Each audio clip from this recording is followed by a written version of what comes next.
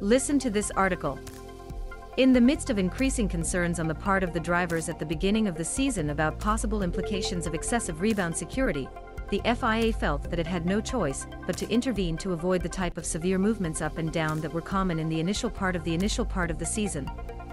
The main approach of the FIA was in the introduction of an aerodynamic oscillation metric to limit the amount of margin margin and rebounds that drivers have to endure. However, the scope of that tool was extended to include more difficult measures in flats and flexible planks because the FIA felt that there had to be a leveling playing field between the teams on how they were dealing with the phenomenon. The measures of the governing body, which were established in a reviewed technical direction issued to the teams in the British Grand Prix, will be introduced into the Belgian Grand Prix, initially having been scheduled for the France Grand Prix.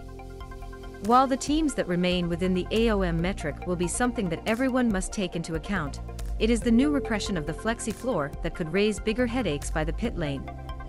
Flexi's intrigue focused mainly on the way some teams have intelligently exploited gray areas of the rules to obtain more flexibility on the plank that runs under its car. For those who do not know, the table is under the central surface of the body of the floor and governs how low the car can be executed, given its thickness. It should not be used by more than 1 mm, with its verified compliance on the periphery of 650 mm holes placed precisely.